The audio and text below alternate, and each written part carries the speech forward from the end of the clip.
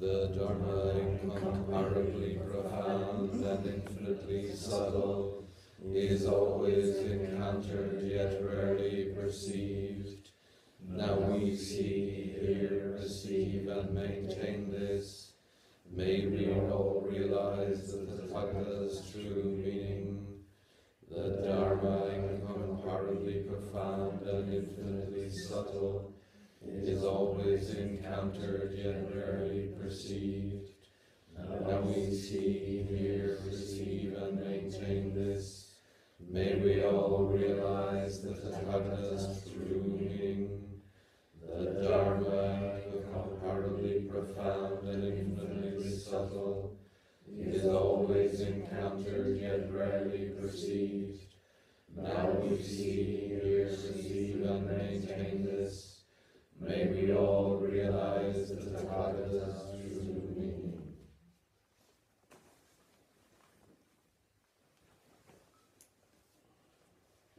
Oh, good.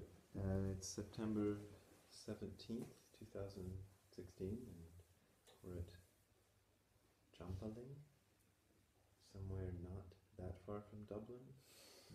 I'm not even sure how far Dublin is. Uh, I just come here from Belfast, so Belfast is, I know how far that is. So, good morning to all of you. Um, as I said earlier, I'm going to try to see if I can stimulate a little discussion here. Uh, and uh, if not, I'll just keep going on and on and on.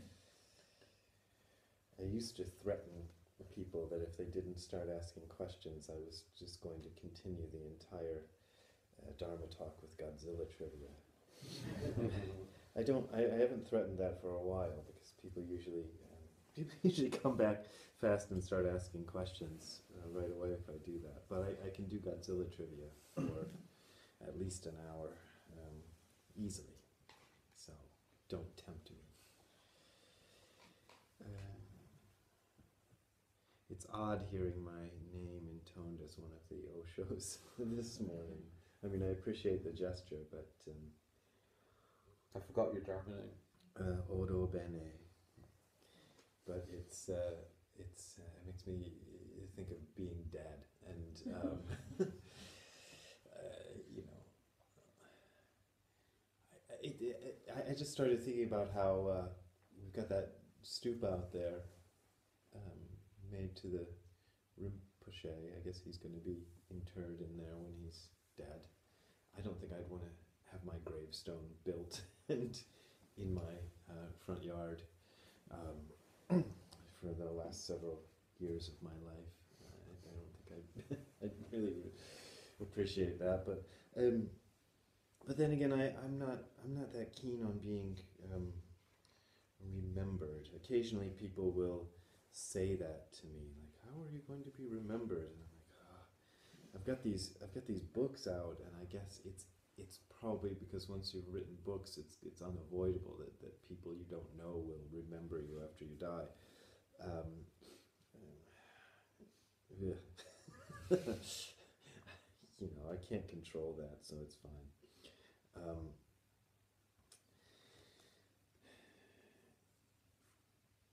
the uh, I, I'm this.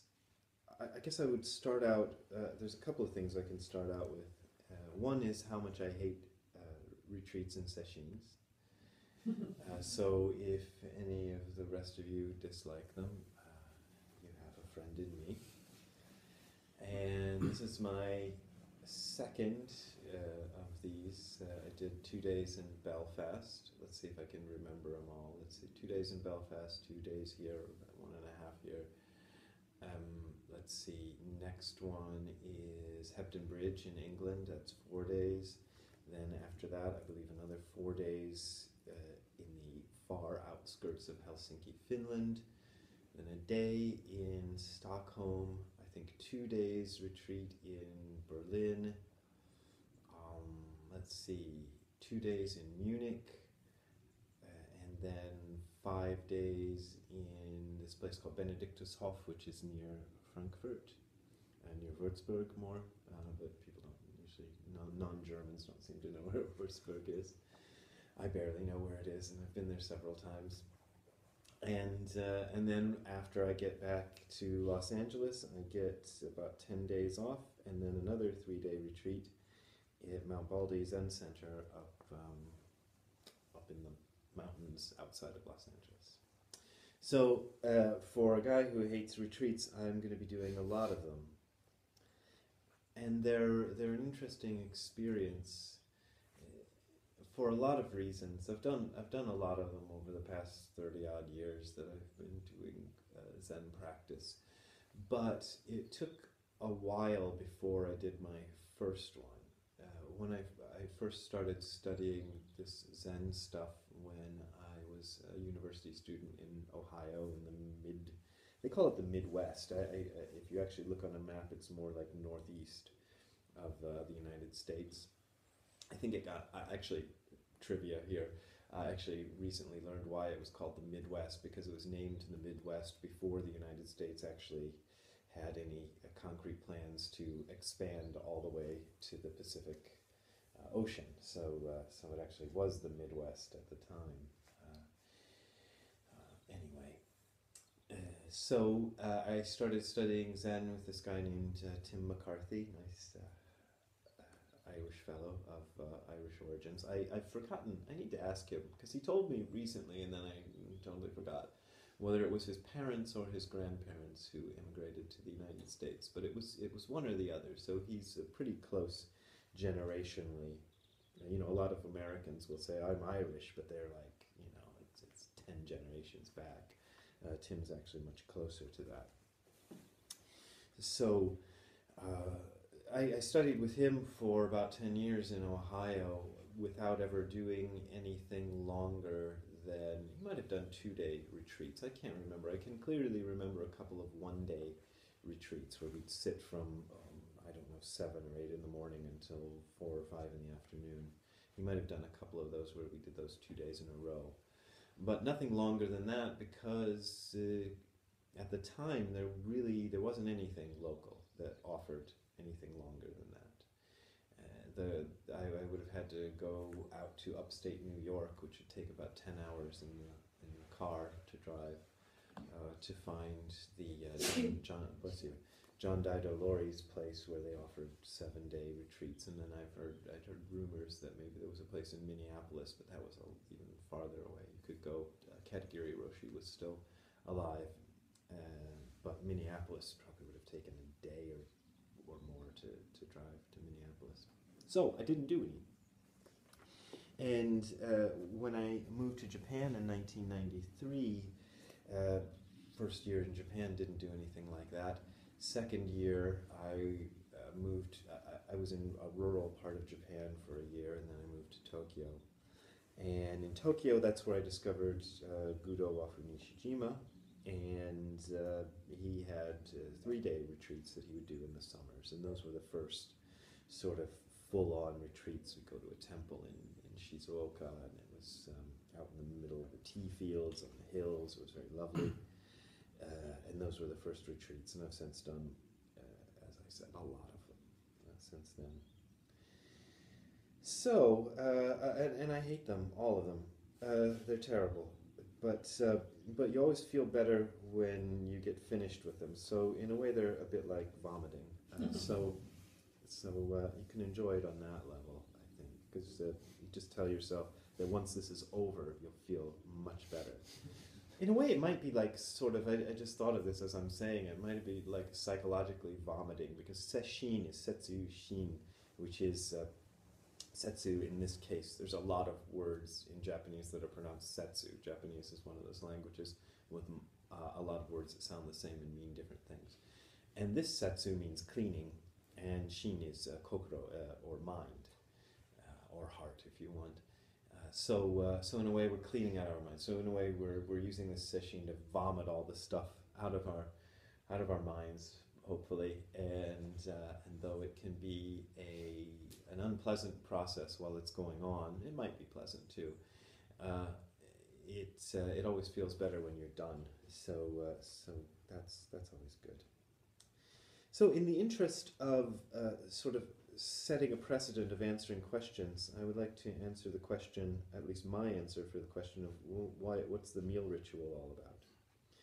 Uh, it's it's one it's one of the questions I answer often because, as I said, I do a lot of these retreats and it comes up a lot. People are always asking, "What's what's the deal with the meal uh, services and all that?" And um, and different cultures have different levels of resistance to it. Uh, Americans are especially resistant to the meal retreats. Um, I've noticed that that um, and and I don't know if this is a general tendency, but of the German places I've gone, they're uh, among the Europeans the least resistant. They seem to be okay with the with the meal uh, things in the German retreats I've led, whereas the Americans hate it to death uh, and don't want to it.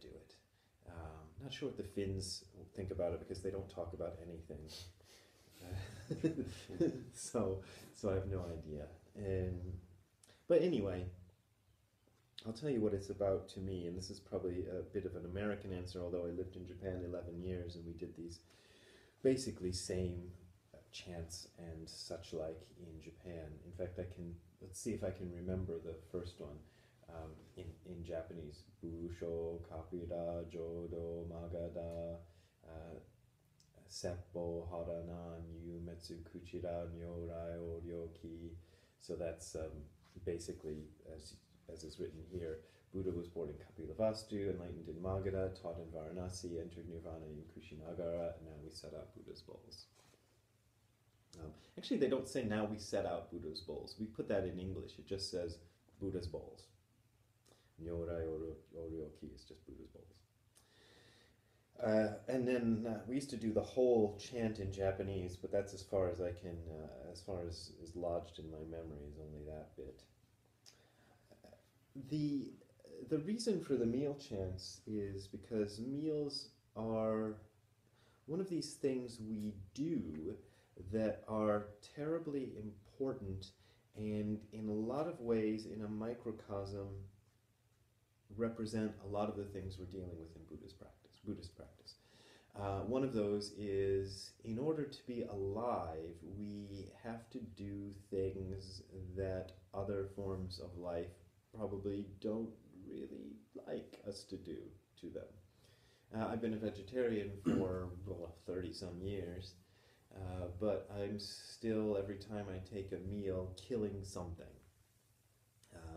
Either it's a plant that had to be dug out of the ground when it was perfectly happy there, or all of the bugs that get up, dug up the, out of the ground with them, and the mice and things that get caught up in those machines, and, and uh, uh, there was a big issue at uh, Green Gulch Farm, which is this uh, Zen farm run by the uh, San Francisco Zen Center up in Northern California, over whether to use blood fertilizer. It turns out most uh, commercial fertilizer these days, the best stuff, is is mixed with a lot of animal blood in it because that makes the plants happy and they grow well in it.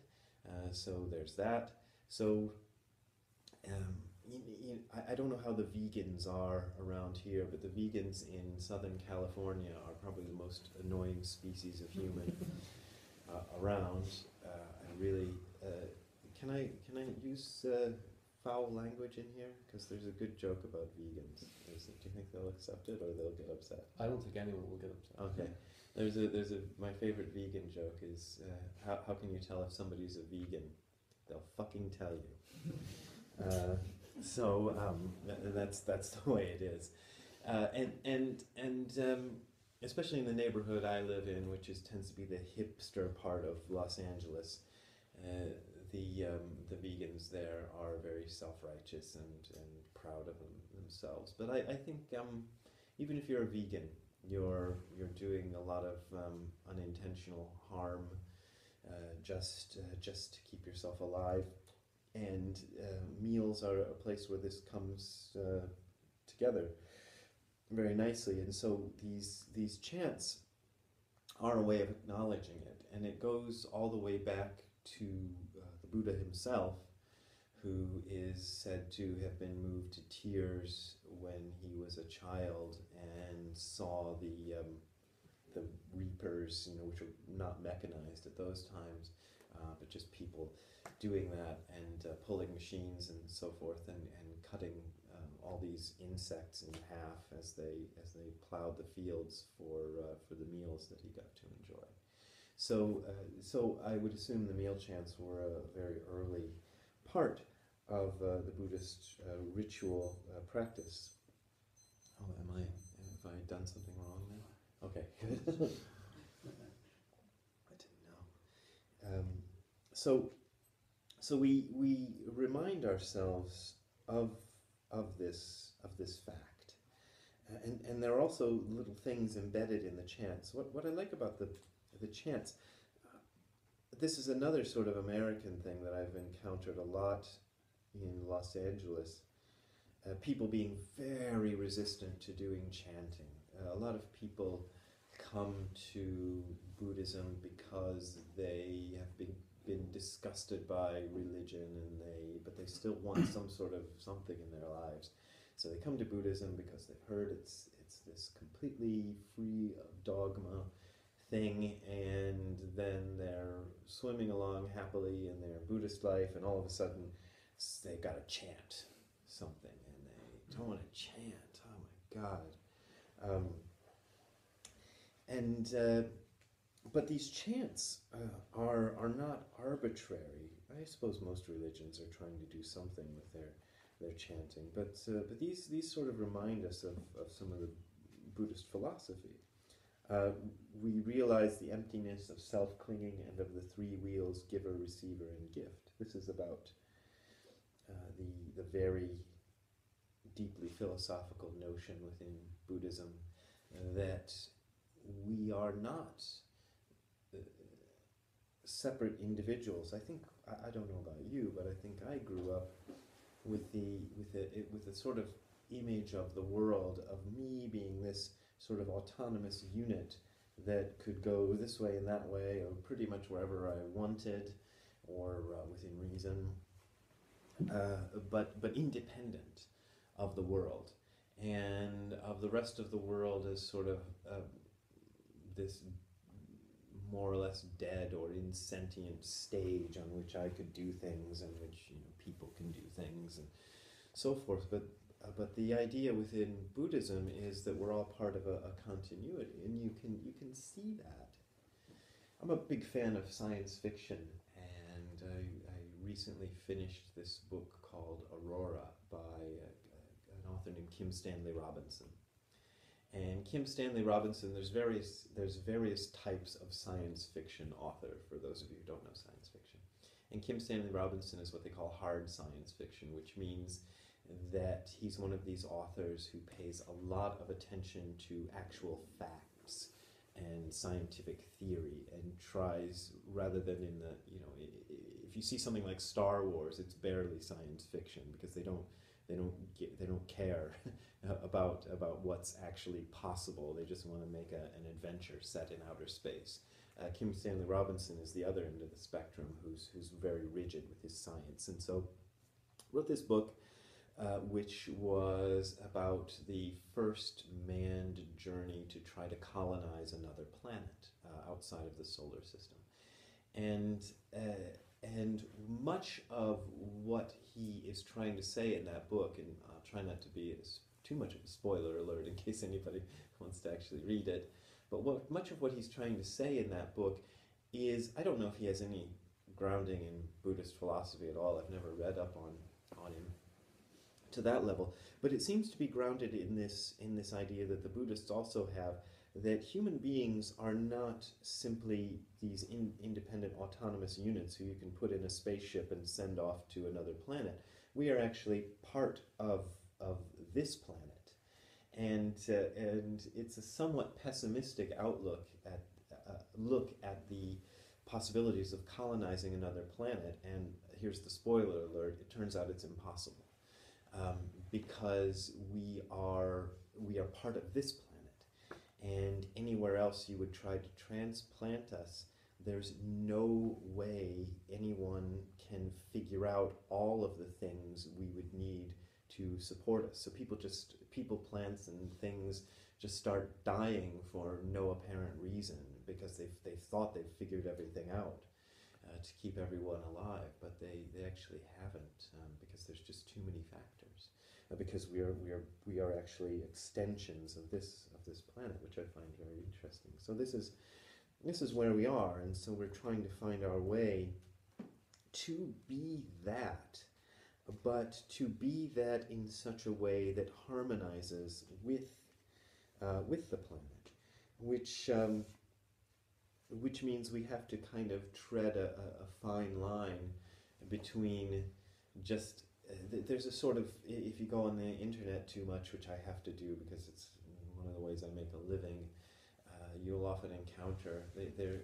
This especially comes out on people online, and there, there's it's one of these things that people are sort of rarely voicing when they talk to you in person, but they'll get really into it online. This very very pessimistic idea that human beings ought to just die uh, because we're such a blight on the planet, and we all should just uh, go away and there's that uh, that view uh, is out there, and people can often make a, a what seems to be a reasonable case for that. But I, I actually don't think I think that's going too far. I think we do a lot of damage, and we have to be careful about the amount of damage we do. But I'm actually more pro-human than that. I think I think human beings, for all the bad things we do, and I'm not trying to trying to minimize it, we are also um, just as vital to the to the biosphere as, as the elephants and the deer and the and the wallabies and whatever else is out there. We are we're part of this of this continuum, and we we do uh, contribute to it, and we do uh, we do something for it, and we um, we may be we may be actually more important, I think, ultimately than than we're able to realize. I think maybe the planet sort of um, vomits things like us out of out of it uh, when it um, it feels uh, the need to do so. When when when perhaps there is a need for its its uh, continued survival to have something on it that can think its way around uh, various problems and, and figure out how to uh, to solve them. I think there's actually a value to that. Um, but we are in a stage where we haven't quite figured that out. Uh, we've only figured out this, the kind of selfish aspects of that, but we're starting to. I think we're beginning to understand how we uh, how we can fit in and how we can become less of a blight and more of, of something that helps preserve um, the environment and so forth. Again, not that we've we've succeeded yet, but I think I think the direction is set. Um, let's see. I'll try not to go on forever. Oh my gosh, maybe I've already uh, used up all my time. No, no, no. Oh, okay. Take your time. Um, this food comes from the efforts of all sentient beings, past and present, and is medicine for nourishment of our practice. Uh, we offer this meal of many virtues and taste the Buddha, Dharma, and Sangha, and to all life in every realm of existence. May all sentient beings in the universe be sufficiently nourished. That's nice.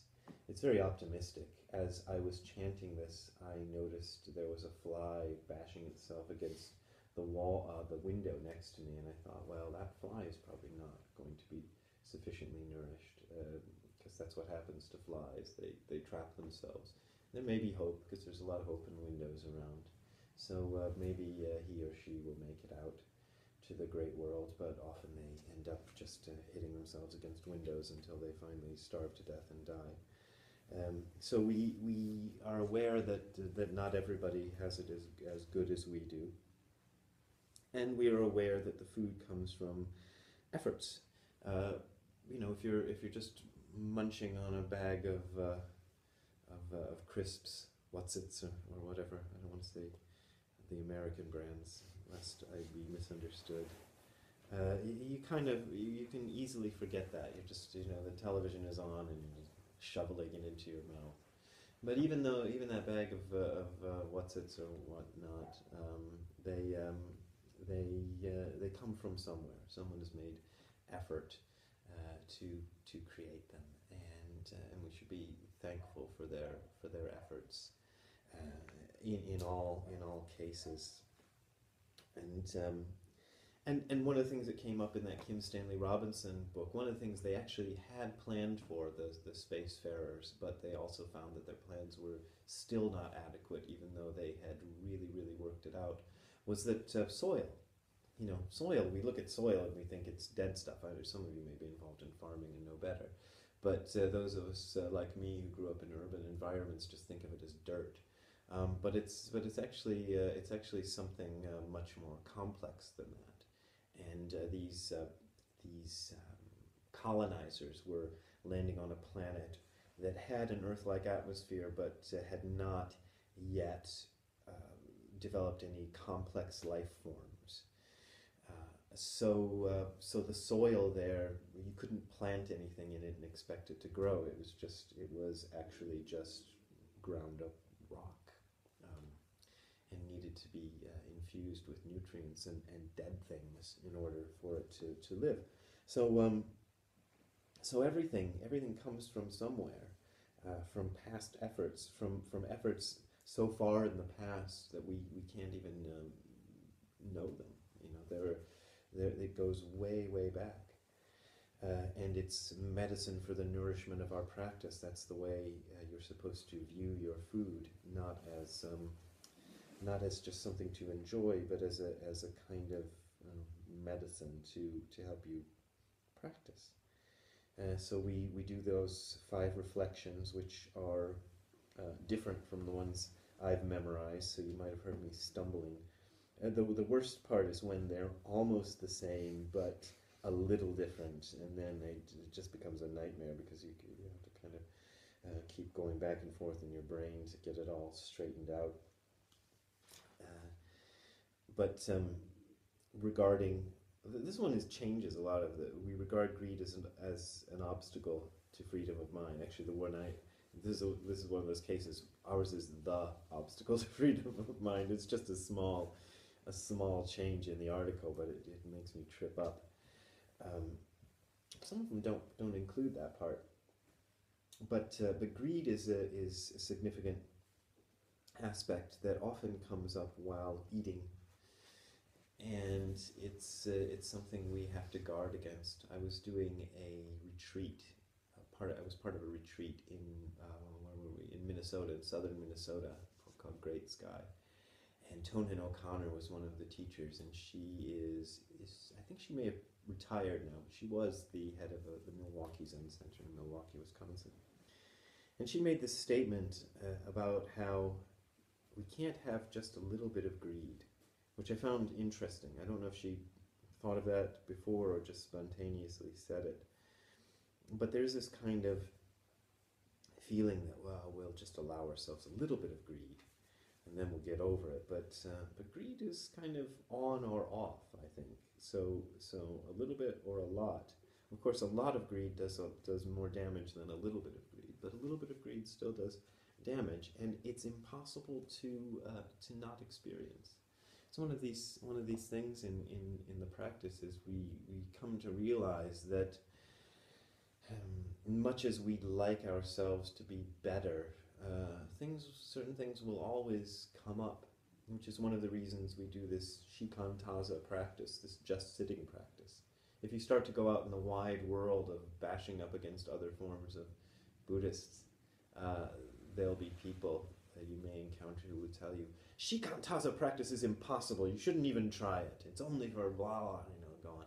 Whereas in the Soto lineage, uh, they throw you right into Shikantaza practice, which is this bare practice that we've been doing, which is uh, completely without any goal and completely without any objective. You're just sitting uh, for the sake of sitting and and uh, and not trying to do anything else, not trying to make yourself a better person or a more blissful person or, or whatever. We're just sitting, uh, which is um, which is regarded by many as, as so difficult as to be impossible or as to necessitate a lot of uh, years of preliminary practices that are supposed to get you ready uh, to do this. And um, one of the unique things about Soto style Zen is, is we just get rid of all the preliminary practices and uh, it's sort of like learning to swim by having somebody just throw you in the water and just go here swim.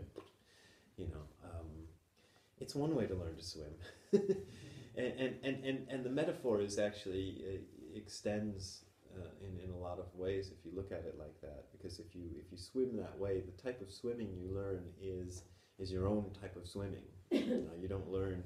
You may you may go back again later and kind of observe others and learn the breaststroke and the whatever stroke. You know, uh, the crawl and well, whatever else there are, the butterfly. I don't know. It doesn't matter. All these other things, but um, but your initial uh, foray into swimming is just figuring out how not to drown.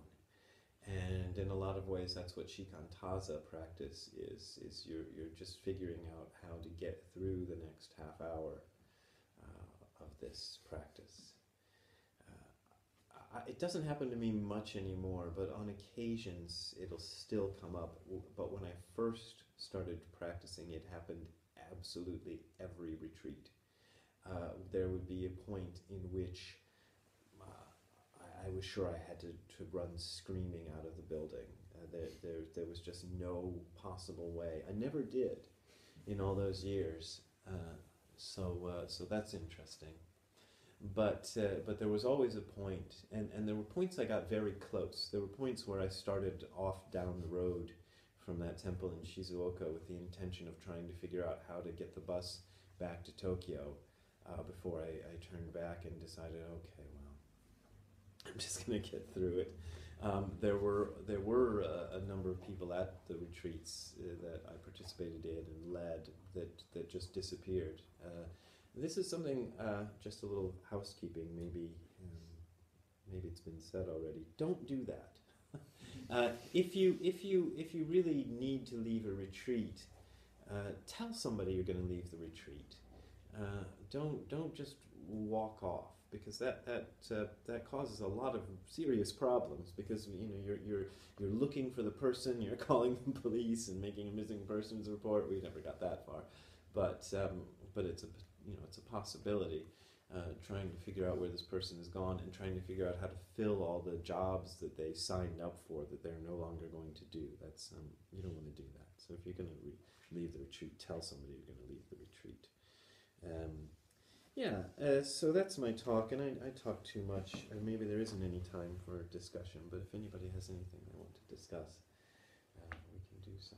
I, I don't know really how close we need to keep the schedule or, or what we need to do. Yeah, I'm the, the, prepared to go through as long as it's when you necessary. said there about the if they throw you in the water, you find your own way to swim. Yeah. I mean, uh, something in me just relaxed. I watched my kid drowning swimming for. I didn't know whether he was swimming or drowning. He wanted to swim. Oh, right. He didn't want to learn from somebody else. Did he, did he make it? Oh yeah. Okay. I- when you said was- drowning, I was a little worried. I was on the side wondering, was he drowning or was Sorry, he swimming? Or, Yeah. yeah, you don't interfere with the process. Yeah, yeah, that's true. I, I just think that's the the. It's not the only way to do it, but I think there's a, a tremendous value in doing it that way because you really you really learn. You know, it really becomes part of your being. You know, um, rather than having somebody somebody teach you a technique. Mm. Uh, it's, it, it, it works sometimes, but. Uh, and in the case of meditation, there's a strong tendency for people to get so involved in the technique that um, that they just become very good at a technique. Uh, you know, you, you get good at repeating your mantra, and the mantra ends up being the thing that you retreat to when things are getting bad. And uh, I don't know how how um, not to disparage other forms of meditation, but I don't know how much value there is to to constantly retreating to something like that. Uh, it seems to me to be another way. It, it, you, you can go drown out the noise in your head with entertainment or drown it out with a mantra, but it feels like about the same process to me.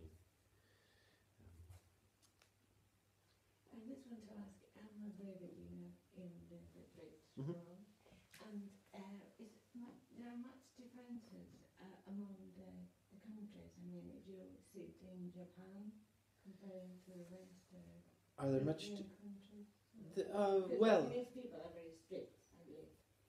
So, Yeah, it, it depends on where you go. The the teacher I had, Nishijima Roshi, was not um, mm, not terribly strict, uh, but his way of teaching was in a lot of ways the Japanese style, whereas in in in Western countries, particularly in America again, but probably it probably goes across the board, people like it to have it explained to them.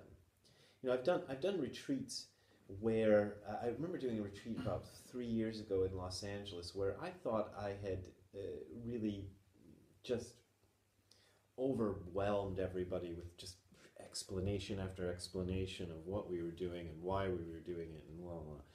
And somebody in my the group I have out there in Los Angeles got the brilliant idea of doing these comment cards and, you know, so people could write their comments, and I made the mistake of looking at them, and, and about three different comment cards complained about lack of context by which they meant that, that things weren't explained well enough.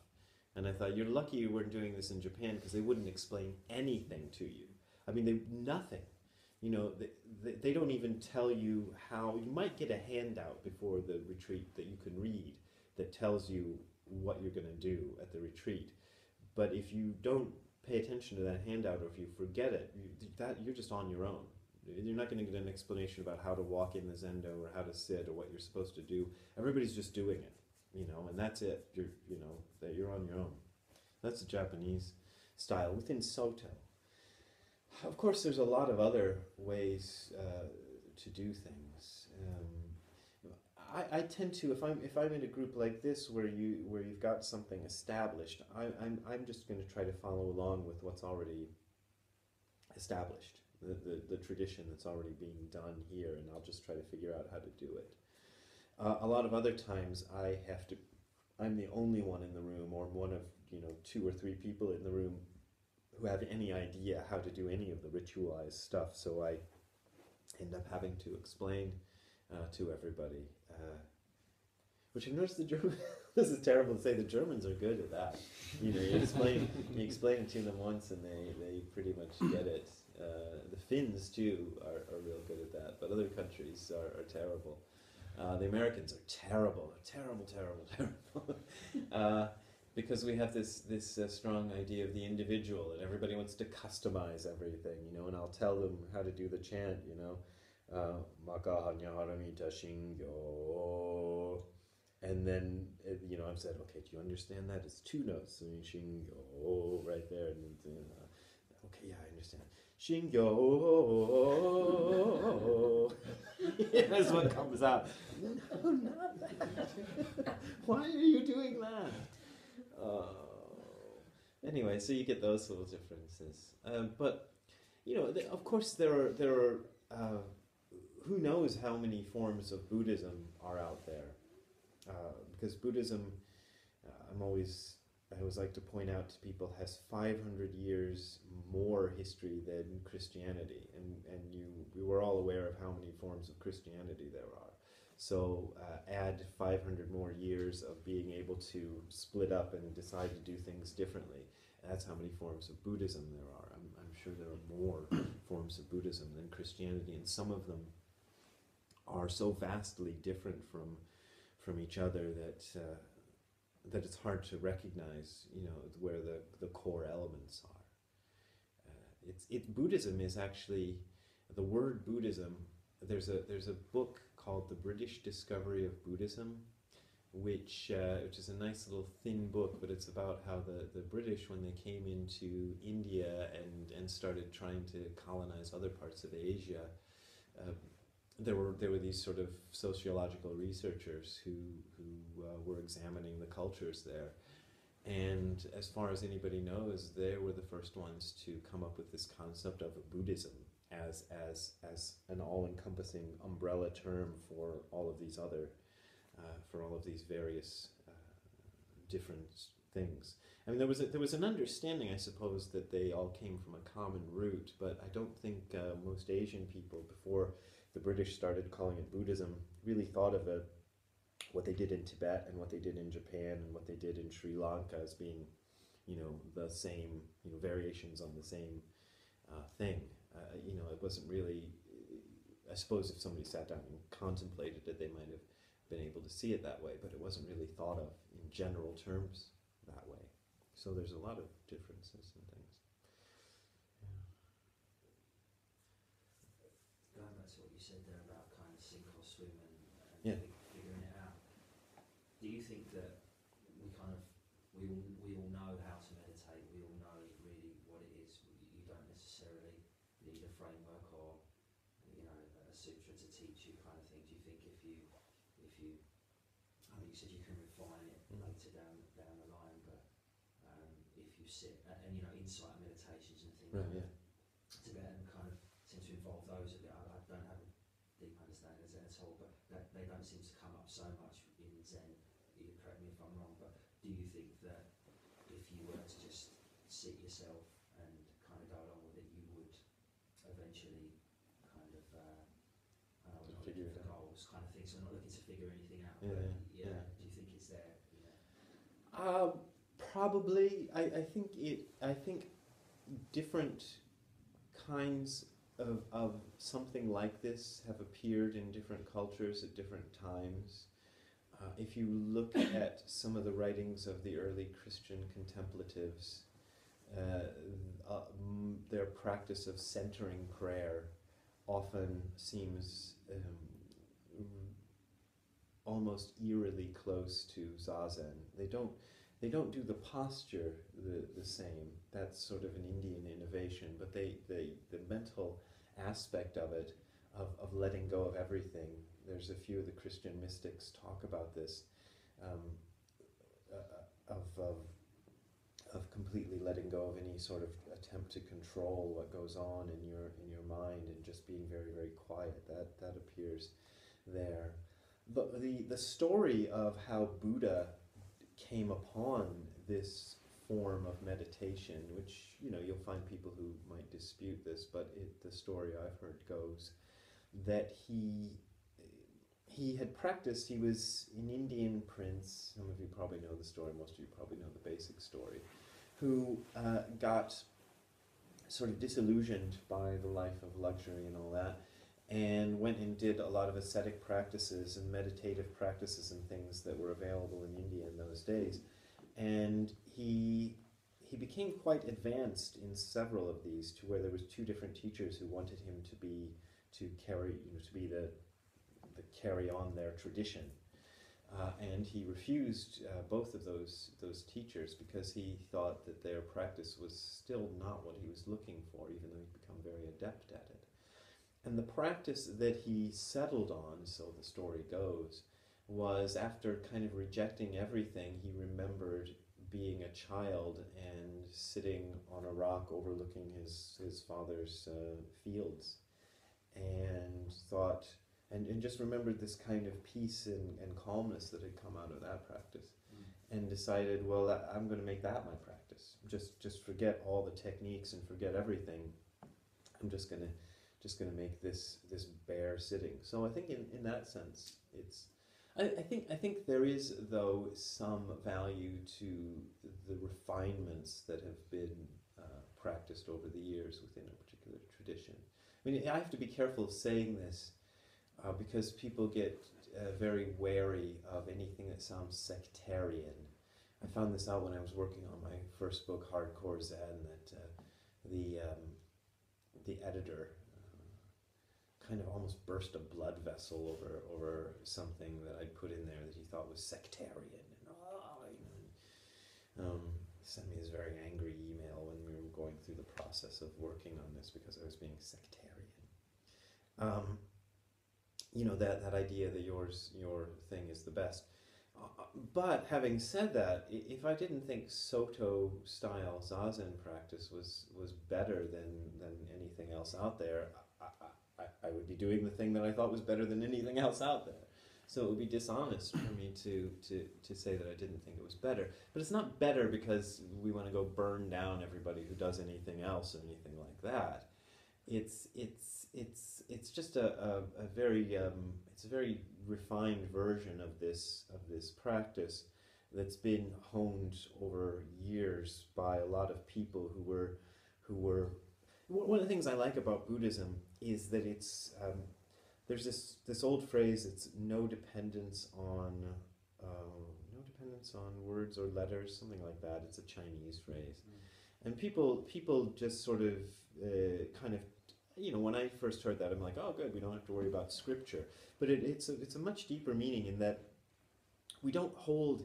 Uh, what is ancient as sacred just because it's ancient. So just because Buddha did it this way doesn't mean we can't um, figure out a way to do it better. You know, this might, might sound like blasphemy for, for some people, but uh, but there is there is the idea, and I believe that if you look at the oldest sutras and the what what little scraps we have preserved of Buddha's words, he does appear to me to be leaving the door open for people to um, refine what he had done, what he had put out for them. So he wasn't trying to say, this is the final revelation from God. He was saying, let's try it this way and see where we go, you know. And so the, the door is open for, for people in later generations to, to go, oh, yeah, maybe we can we can um, fix this bit and you know do that, and and try to make it a little better. So I, I like the balance um, that we have here. Uh, also knowing that in future there may be a, a way to get it more balanced uh, than we have it now. But there's a balance between a, a, kind of reverence for the ancient ways and, and trying to do a few rituals and things, and a kind of uh, a kind of just saying, well, the you know the rituals are are only as good as they are. Uh, they're, you don't have to hold on to them just because they're old. So that was a long-winded answer to that. Question.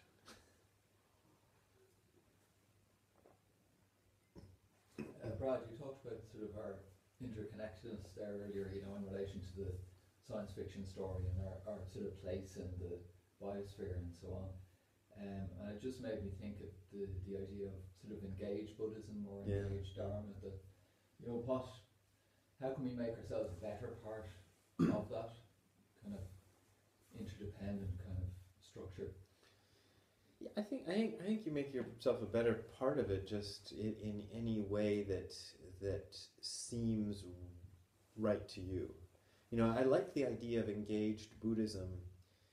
Engaged Buddhism, though, sometimes I, I, I'm always I'm one of those contrary people. So so don't take this as a put down of engaged Buddhism. But I, I find a lot of the same things engaged Buddhism that frustrate me about the engaged Buddhist movement that frustrated me about punk rock when I was part of the whole punk rock scene, which was that punk rock, to me, what was attractive to me was this sort of absolute freedom and, and just trying to do whatever you could. But then it became codified into a certain um, structure where punk rock meant having the black leather jacket and the tight jeans and the Doc Marten shoes, and, and so it became a uniform rather than a, a, a, a way to be completely free of uniforms. And the same thing I think happens a little bit in engaged Buddhism. It's it's the, the idea of engaged Buddhism of, of trying to trying to do something to help um, the world and humanity is great. But I find that when I kind of look in, you know, I peek into those usually on the internet, uh, not in person. Some of these more hardcore engaged Buddhist sort of things, it becomes we are doing this, this, and this, and these are engaged Buddhism. Whereas I had an interesting conversation with my with my teacher that might relate with Nishijima Roshi might relate to this. At the most of the time that I was working with him as his student, I was also working for this company called Tsuburaya Productions in Japan, whose stock in trade was making these uh, uh, films and television programs. Uh, I'd have to say bad science fiction films and television programs you know the kind where people put on a rubber dinosaur suit and then there's a there's a, a little miniature Tokyo and they come and and bash their way through it and all of that. That's where I worked. Uh, and I, I, I, enjoyed it. I, I really liked that company and I liked the programs we made. I thought they were fun and I had a good time.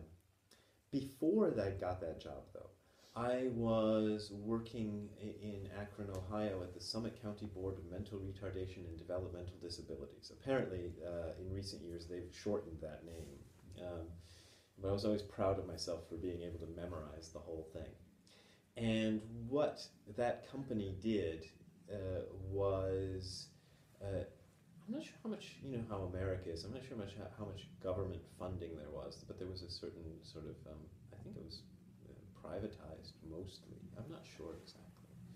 Uh, but anyway, what our stated uh, goal was uh, was helping mentally handicapped adults to uh, work in normal quote in quotes normal workspaces.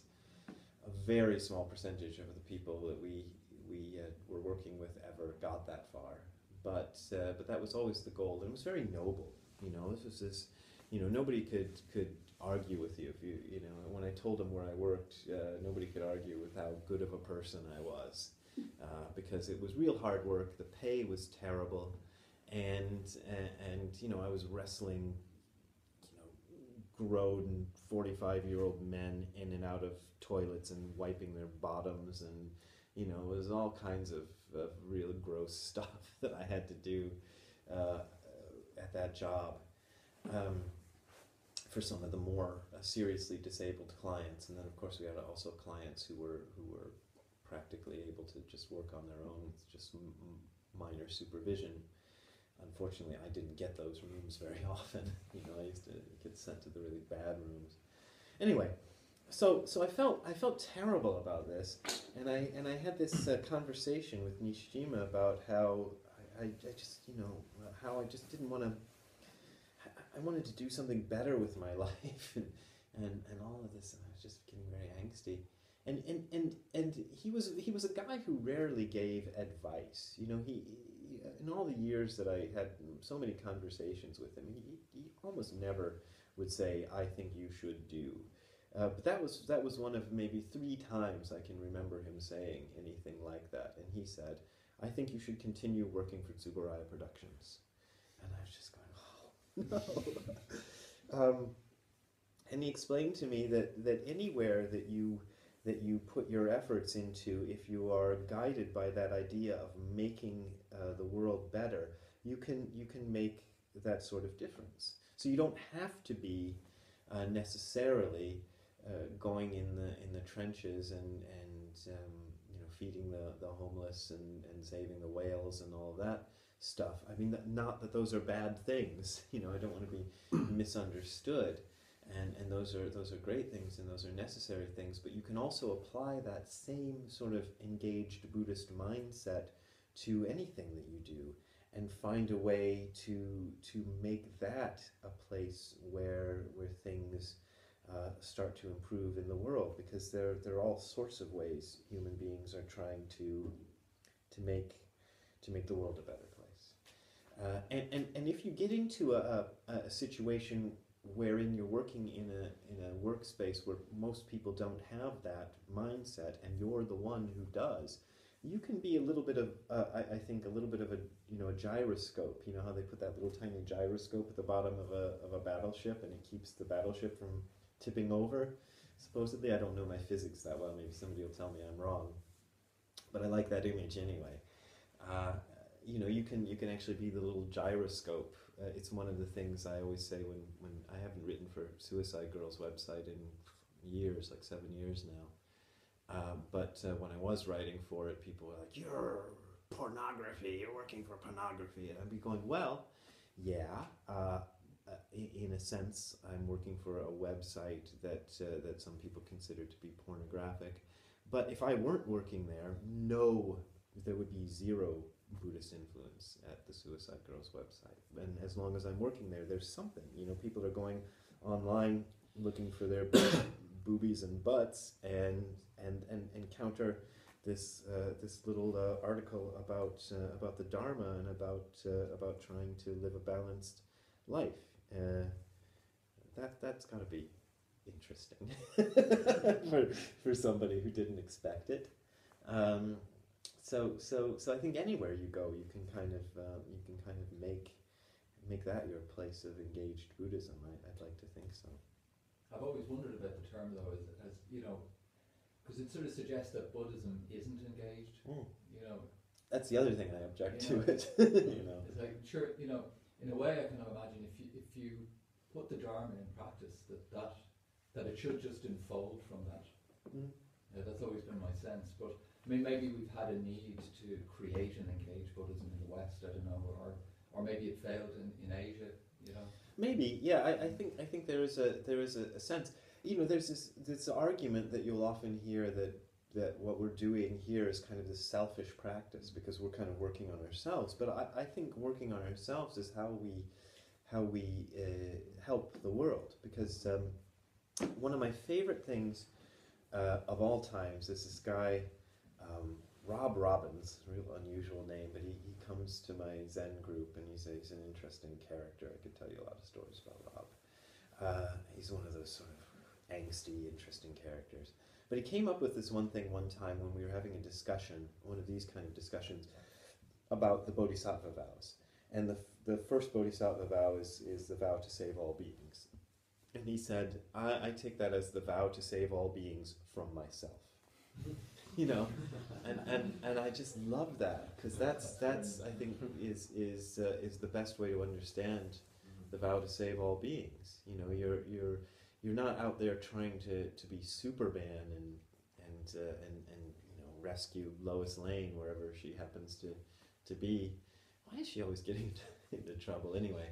Um, but uh, but rather you're you're trying to work on yourself so that so that when you move through the world, uh, you are no longer uh, this walking disaster that you might have been before you did this practice. It's And very interesting what you say. It's kind of misquoting you, but I think there's a lot in it. If you want to save the world, you start by cleaning your bedroom. yeah, yeah, you know, yeah. I think for me, when I heard that, I think there, there is a lot in that, you know, because it's your attitude, it's everything, isn't it? Just cleaning your room, you know, might Yeah. be for yourself, but actually the reasons you're doing it and what you're doing and, and, and you know, everything about that for me kind of spoke. Yeah, it makes a difference. Yeah, yeah. Yeah, the thing, the things you do to kind of fix fix your own. Was it Shunryu Suzuki was uh, shine shine one corner. Uh, I, I I love those sort of mutant English phrases you get from people whose first language isn't isn't English.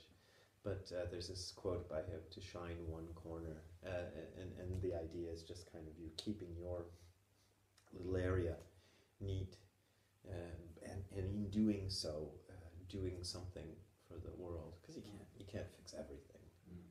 uh, but you can you can do some work on yourself. Is, is it true when we're working on ourselves that guilt is unhelpful? Which is strange for a Westerner, I think. Yeah, I don't I don't think guilt. I I think I think you know guilt might have a little a little spark of purpose, you know, and it might it might help you, especially if you're kind of a thick-headed person anyway. It might it might uh, spur you on to do something, but a little of it goes a long way, as they say. I, I, I and I think uh, I think most most of what happens after that initial spark of trying to do something because you feel bad about something else you did, then you know there's no there's no reason to keep rehashing it. You know, you, you have that tendency to kind of um, you know rehearse it uh, for yourself. The old uh, Catholic guilt, right? Mm-hmm. Catholic guilt and Jewish guilt. Those are the two the two faiths that are really built built up on guilt. And luckily, I wasn't raised in either one, so I don't know too much about that. But yeah, I, I think most of it's just uh, it's it's a way of reinfor. It becomes a way of reinforcing the self. You know, it starts off as a way of going, "Oh, I did a bad thing. I should I should make that right." But then it becomes a way of going, "I'm bad. I'm bad. I'm bad. Oh, me, me. Oh, I'm bad." you know, and then it becomes the way of building up this self-image because a negative self-image is just as good as a positive one. You know, people think of building up the ego as being like I'm the greatest guy in the world, but I'm the worst person in the world is also a way of building up the ego. You can uh, you can build it up just as as uh, you know grandiose grandiosely is that a word? I don't know. Make it grandioser that way. Maybe we should. Uh, And maybe that's gone on too long what because do you think? we're running out of time, and I'm supposed to do dokusans on people. Yeah. Um, I think maybe. I mean, we have a we have an equal amount of time tomorrow, so Okay. uh, there. You know, I'm, I know some of you have questions, or maybe the questions will emerge between now and tomorrow. Maybe I'll try not to say any, such a long-winded beginning tomorrow. No, it was great. Thank you so much. Should we? ch- Do you want to chant the? Oh, I'm Page supposed to do it alone. Okay. Yeah. Yeah. Do you want, to, do Tradition you want us to join in- in? Whatever you want. Uh, Page 10. It doesn't matter to me. I usually uh, We, where jo- I've been we join in for chant- the last bit. For the Are all Buddhists throughout space and time. Yeah, we join in for that bit. May the merits of this teaching penetrate into each thing in all places, so that we and every sentient being together may realize the Buddha's way. All Buddhas throughout space and time all bodhisattvas,